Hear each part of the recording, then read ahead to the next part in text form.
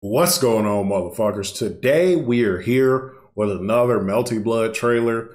Um, this is actually a new character, or at least that's what people are saying that this is a brand new character. I personally think design wise, he is so far the the like has the coolest design of any of the characters that are in the game so far. I know people's biggest like gripe like Melty Blood right now is they think the character designs are really bland, which I kind of agree. It doesn't really bother me as much as it bothers other people.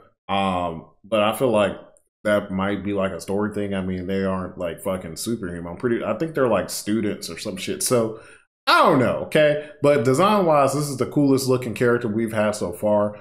I'm curious to see how he plays. His name is Volv. Val. Volv.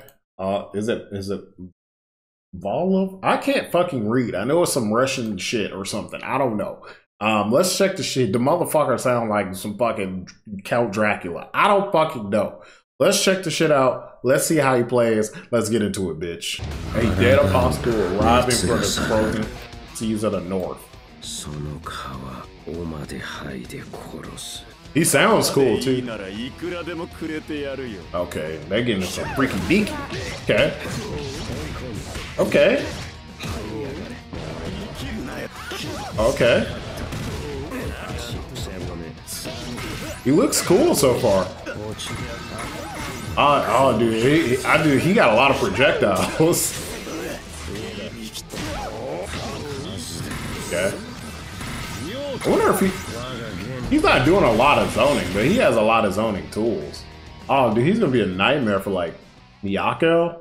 Um, he looks pretty good, honestly. I like.